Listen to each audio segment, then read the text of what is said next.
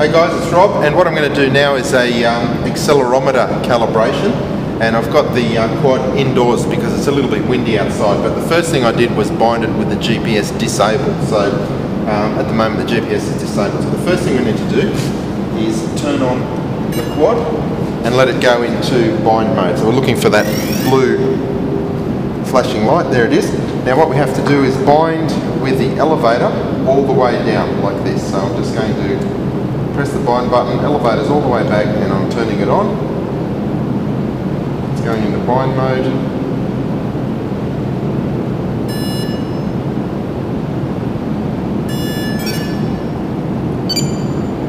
Okay, so it's now bound. We can release the elevator. And what I'm going to do is I'm just going to put the quad into um, stability mode because we need to flick it into agility mode when we're flying. So what you're going to see when I arm the motors is that light is going to change. So just arming the motors, you can see it's now flashing green and red and blue. What I'm going to do is take off. Now at the moment it's out of calibration because it's just reset everything because it's uh, in the calibration mode. So if I let go of the sticks, it's actually going to drift back to me quite significantly. So what I need to do is put a lot of forward trim there. So I'm just going to do that. Just putting in enough forward trim to stop that drift back. And the other thing it's doing, I'm noticing is drifting a little bit to the left. So I'm just using a bit of, uh, sorry, drifting to the right. So I'm just going to use a little bit of left trim. At the moment, all I'm doing is using the uh, elevator and the aileron trim to try and get the uh, trim sorted out.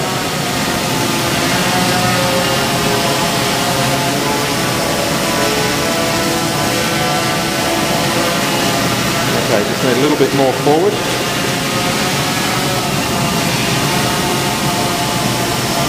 At the moment I think that's reasonably good. I'm not using too much stick to correct seems to be flying fairly well without any trim input. So what I'm going to do now is put it into agility mode and you'll see the light starting to flash fast. So what you need to do now is just fly it for a few more seconds until that light starts flashing slow again. There it is, it's flashing slow, so what I'm going to do now is land. So I'm landing and I'm shutting down the motor with the throttle trim. So the next thing to do is uh, just centralise all the trims. So the elevator trim centralised, I've got to centralise the aileron trim and I've got to centralise the elevator trim. So I've just confirmed all the trims are neutral. Now the next thing you need to do is just move this rudder stick left, right, left, right and it will save the calibration. So here we go. Left, right, left, right see that double beep and then it goes into its initialization and it's initialized now. So that's actually how we do the accelerometer calibration. So what I'll do now is I'll just take off to confirm it actually worked.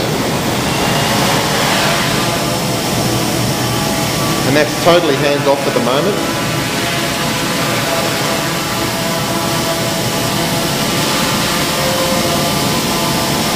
move it forward.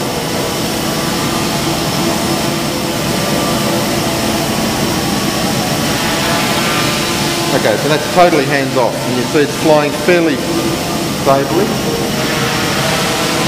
It's not really drifting too much in, in either direction.